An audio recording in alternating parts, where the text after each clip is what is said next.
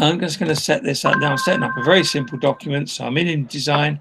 So this is a new file and boringly, it will be yes, another three column A4 landscape, uh, portrait page. So it's actually remembered those from last time. So there's my margins. I'm actually going to make the margins a little bit bigger actually, um, as they would be. So we'll put quite a bit at the top, 25. Um, if you're doing it, you can make this up as you go along, which is basically what I'm doing now anyway. So we make that 15. Create. Wait while it does its stuff. wondering why your computer does it so quickly and mine takes forever, um, there is a reason for that. Okay, um, which doesn't help you very much. So there's a reason for that in that it keeps on phoning home to Adobe. Okay, so I'm going to zoom in on the top of this. Actually, no, let's leave it where it is for the moment. So the first thing to do is I'm going to bring in the text. So come over here to File and Place. And it's going to cue me for the text. So it's in here. So Archer leaflet. So there's my copy. Click on Open. Now I haven't bothered about any import options on this because I'm going to make loads of change. So just bring it in as plain text to do absolutely fine. Now what you can't see is I am holding down the shift key. Because when I hold down the shift key, uh, let's have a look on my monitor. Yeah, you should be able to see that. Hello. That's interesting. It's not showing. Oh, it is now. So I don't know if you noticed that on the cursor, it looks like a little snake from that where it's just normal. Um, and it's being quite sluggish at the moment. So I'm going to place that. So by holding down the shift key and pointing at that first column and clicking once, it's now threaded that text through the entire document, in this case, uh, five and a half columns worth. That's going to change. What I'm now going to do is I am going to zoom in just on a few top columns there so you can see what's going on. There we go. So here's my text, and for the purposes of this discussion, we will assume that we don't want it to look like this because that's pretty boring. And as you saw from the final piece, we need this to be sort of moderately wacky. And um, so what I'm going to do is style it. Now, there's a couple of things I can lose straight away. Um, I actually don't need, let me text tool back. I don't need that bit at the top there, so I'm just going to delete that. There we go. Uh, the other thing, which if you look at this text, um, which is something I'd actually forgotten, but never mind, it's fixable. Um, you'll notice that, um, for example, just here, there's some weird characters in there. There's a couple more over there. So what we would have to do is look at the original and see what those are. What's happened there is that this has been done on a PC and it's been done on an old PC, um, old then and old now. And the PC has got a much smaller character set than the Mac has. And so when the Mac maps the numbers that represent the characters onto its characters, it gets it makes some mistakes. We can fix that sometimes on import. Uh, normally, I don't bother. Um, it's not just in case you're concerned. It's not much of a problem nowadays. Um, this is seven years old, and it was a much bigger problem then. So I've got my piece of text, and I am going to show you how to set up a style. Now, under the styles, we have cell styles. Those are for tables. Not going to be showing those at all. Might do a thing on tables in a few weeks' time, might not. Uh, character styles, and I'll show you one of those. And then we have object styles. Objects are things like boxes and frames. If I get time, I'll show you one of those, but maybe um, if we're running out of time, which it looks like we will do, um, I'll show you that another week. And then paragraph styles, which is where I want to start. So I'm going to bring up the paragraph styles, and here they are. I'll just place it up there. I'm dragging the bottom down a little bit. Um, so at the moment, um, highlighted and in square brackets, we have a basic paragraph. That is a paragraph that doesn't do anything other than be very ordinary. So I want to set a style for a heading. So what I'm going to do here is I am going to click on new style and I am going to select and you don't need to select it by going like that. Um, all you need to do is just put the cursor in that particular uh, paragraph and I'm going to apply that style. And with a bit of luck, absolutely nothing will happen. There it goes, nothing happened. So now I'm going to edit this style and I want you to watch what happens because this is what makes it magic for me anyway. So there's my um, style. So it's first of all give it a name. So I'll call it uh, show. As good as anything. And it's not based on anything. Come back to that if somebody's interested another day. And I need to choose a font. That's the font it is at the moment. I'm going to choose something. Oh, I'm also going to click preview down the bottom. So choose the font and uh, now what should we have? Obviously, what does that look like? Ooh, it's very thin, isn't it? Okay, we'll live with it for the moment. Uh, I'll increase the size.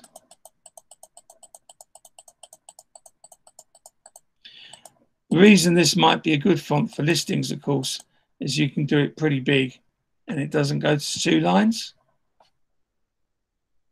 So um, that looks fine. Leading, I'll leave it where it is. Actually, I'll make it a bit smaller. Just in case it does want to go to two lines. Um, advanced character formats, I ignore that. You can scale it. Indents and spacing, I'm going to put some space before and you will see why. So space before can be let's say three millimeters, space after could be one millimeter. Did you see how that moved down? Um, tabs we ignore. I mean, you can play with all of these. I mean, paragraph rules, you can put a rule underneath it if you want. Hey, that could be fun, couldn't it? You can even shade it, which is quite clever. So if I click on shading, it does that. And so that's a black, apparently, but it's 20%. So let's make it 100%. Now you're saying, why is he doing that? Because you can't read it. Well, if you've kept up, we can come down here, change the character color, and now we have that text white out of black on a little bar. Of course, you can go back to the shading and you can change the color of the bar if you want. Let's have a red one. And let's assume we're happy with that. Okay, I'm going to click on OK. And then just to test it works, I'm going to click on there, click on show, and there it goes. We have a problem. It's gone to two lines. That's all right. We can fix that in a second. Um, here's another heading. So once again, if I click on that, you can see that I'm now formatting things really quickly. I'm going to do a few more. So um, one of the things I'm going to do here to demonstrate is just to switch on, and we've done this before, switch on the hidden characters, because um, I want to get rid of returns like that one there, and that one there, because I'm going to control all of that spacing through the style sheet. And there, do you remember I put five millimeters or four? There you can see that working. That one there isn't working so well. We need to go back and edit that. Okay, so I'm going to do two more styles and then call it a day. I think you've got a hang of it. Um, and as I say, I put the files up. I'd like you to have a go. Um, don't bust a gut on it. Spend half an hour, see how it works. Uh, then get on with FMP. But let me just do one more. So here I am going to click on that. Um, I'm going to put the cursor in there and Now you notice that I've clicked on there and it's picked up a style I don't want. That's fine. We're going to edit this. So this will be show copy. Let's call it that. And that says it's based on show, which is why it's done that. So I'm going to say now just base it on a basic paragraph. So it's gone back to where it was. So you see how it's updating itself. This is a really powerful tool you can use here. So basic character formats, it's on Minion. Uh, let's have it on Myriad. I think I'll use that for a lot of things. And we'll make that a little bit smaller. Um, leading, we'll make a bit bigger, put a bit of air in it. It's always a good idea. Um, what else do we want to do with this? Probably not a lot, to be honest. Um, I think that will do. I'm going to click on OK. Now, I need to put that on there. So these are now picking up the style that I set. Whoops, wrong one, doesn't matter. We can change it back. So at this point, we realize that although we quite like that big red, white out red text at the top, it's really big and it's a bit sort of in your face. So here's the big deal. I'm going to just click in there just simply so I don't change anything. And I'm going to go back to this style sheet. And I'm going to change it again. So that's 34. Now I'm going to move this out of the way um, because that was one of my problem areas. So I'm going to shrink it down a bit. Now, I had no idea what obviously looked like when I called it up. Um, tries not to crack a joke. I'm just trying to see something. We oh, good old rubber rusty. Okay, so this is rubber grotesque. This um, one they use in Harry Potter's films. Um, just so you know. So once again, I am going to shrink that down so it fits on one line.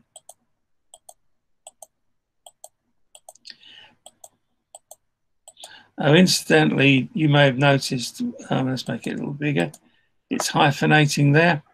So down here, you can get a hyphenation and just switch it off. There it goes. Back to my character formats. So I'm going to go down to about 14. Not sure I'm going to, okay, most of those were on one line, so that's probably not too bad. Um, we can track it Tracking pushes the letters a bit closer together. So you can see that happening there. Um, I'd have to make it so I'm going to decide what to do there. And then leading, let's make that the same size. There you go.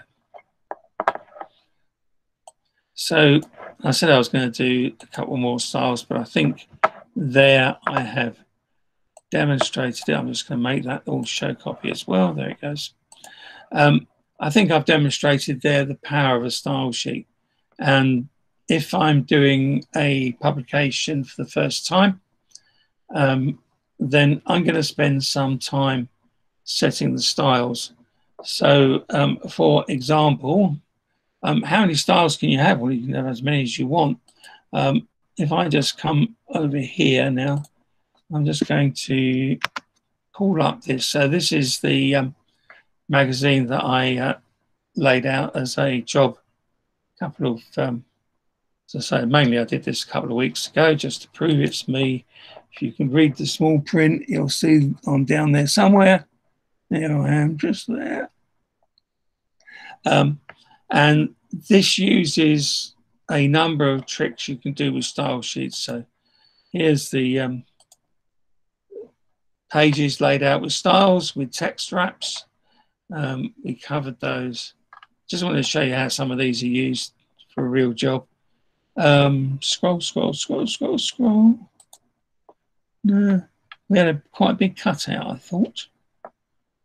Maybe I'm getting confused. Is that a cutout? Yeah, there you go. So there's a there's there's a cutout. Um, just in case you're saying, yeah, that looks ugly, that page. I absolutely agree with you. it's not a pretty page. Um, if anybody's interested, though, no doubt I'm breaking my own copyright, I can send you a free I can send you a copy to have a look at. Uh, or you can subscribe. It's um, it's six dollars an issue. Uh, you're paying dollars. I get paid in New Zealand, whatever's. But there you can see it, and all of these are style sheets. And the one thing I haven't shown you, well, I'm just a couple of things I haven't shown you, and I will come back to those um, in a subsequent week. I haven't shown you how to do an object style. So by using an object style, I can um, get a picture. I can tell the um, the object style tells the picture that it's got to have a uh, one point black border, it's got to have a white background, and the picture should be sized to fit the box that has been drawn, which doesn't always work, but is a very quick way of getting it to start. And in this one, the links don't work, but just one other thing, if you're really interested or if you want to do this professionally, um, and it's a trick that not a lot of people know. Um, what you can do here is um, link the styles to the index or the list of contents and then get it to generate the contents automatically for you. And I think that's a really neat um, thing that InDesign does. And what makes it even better than that is that if I then publish this as EPUB or publish to the web, and then all those links are lives and we can include videos. So, um, you know, it's, it's great fun. Okay, I'm going to stop there. I think I have gone on quite enough. So let me just uh, stop sharing, come back to you all. Okay, so that was the piece I wanted to show you. I'm just going to stop that recording and then, yeah,